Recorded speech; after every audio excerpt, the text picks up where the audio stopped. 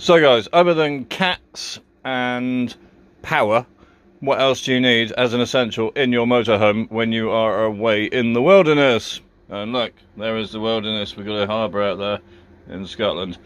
I think that uh, you need power and then you need coffee and you need a coffee grinder.